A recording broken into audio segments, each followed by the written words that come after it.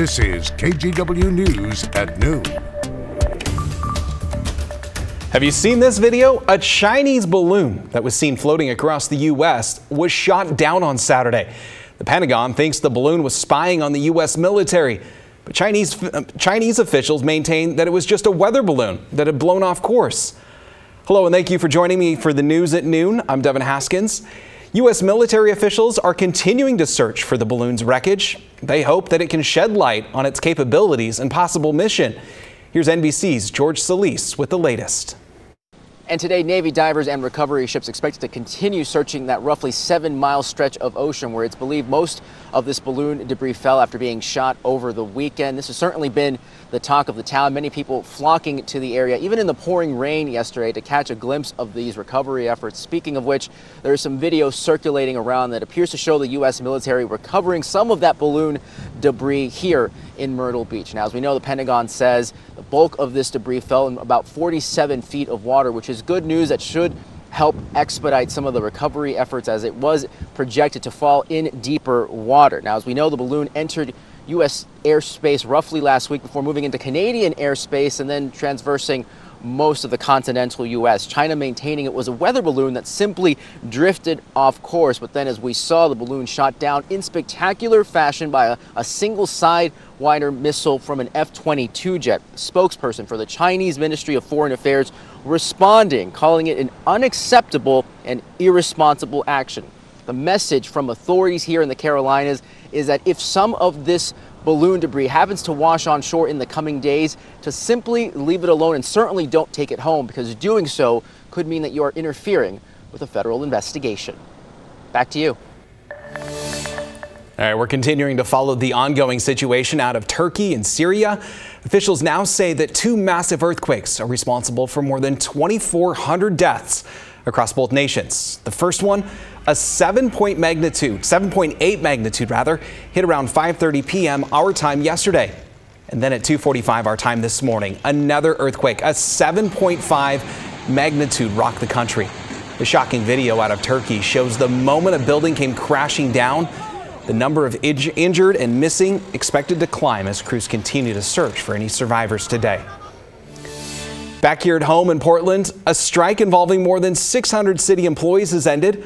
Our Bryant Clerkley talked with workers at a rally after the two sides had reached a tentative agreement early yesterday morning.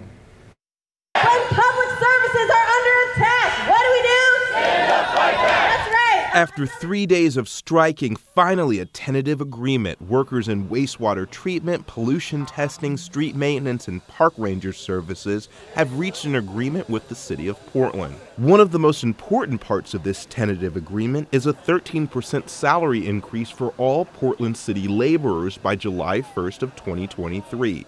At a rally in North Portland Sunday evening, you could feel the relief in the air. It's been really invigorating to see people feel their own power and uh, recognize their value to the city in a way the city wouldn't. They want you with your hands on your tools for as long as possible for as little pay as they can give you.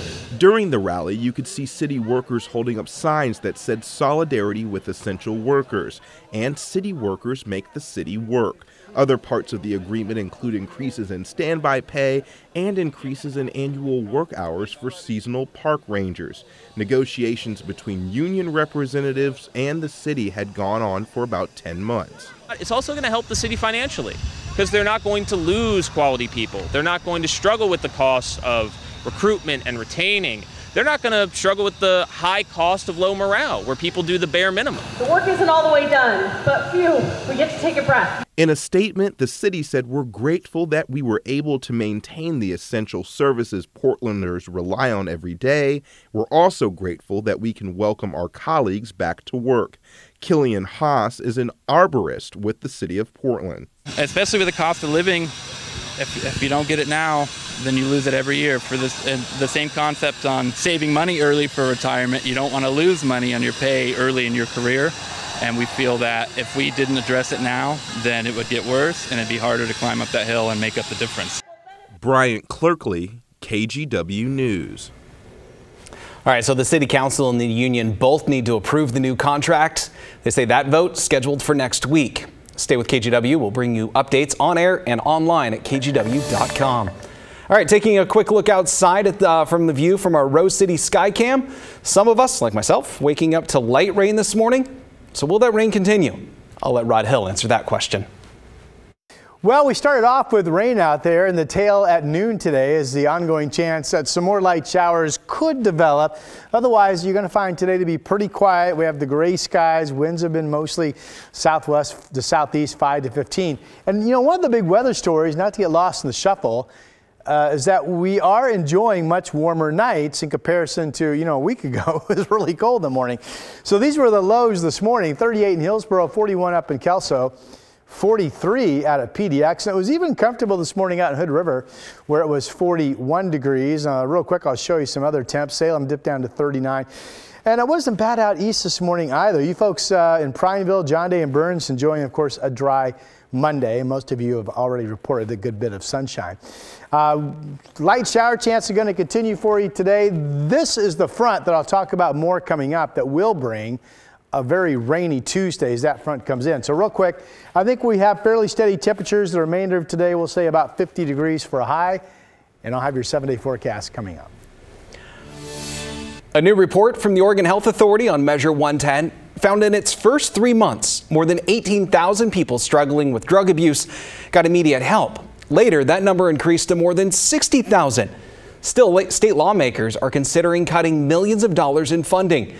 Voters approved the controversial law in 2020. It decriminalized certain amounts of hard drugs while helping people access recovery services.